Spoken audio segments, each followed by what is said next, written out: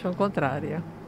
Dice che si rischiano focolai. Eh Sì, è meglio dopo Natale, dopo le vacanze. È una buona soluzione, anche se eh, riprenderanno solo per due settimane perché poi, poi ci sono le feste, però è un segno di ripresa, diciamo, anche perché visto che tutti gli altri stati qua le scuole non sono mai rimaste chiuse. Certamente potrebbero essere una fonte di contagio nel momento più difficile dell'anno, diciamo. E quindi è una scelta difficile. È una scelta difficile. I ragazzi comunque hanno bisogno di socializzare, per cui per loro è fondamentale. Dopo la sicurezza è un altro aspetto, per cui se ci sono le condizioni sarebbe l'ideale. È un problema che rimane aperto perché io sono stata insegnante, so che i ragazzi nella classe sarebbero sicuri, sono sicuri.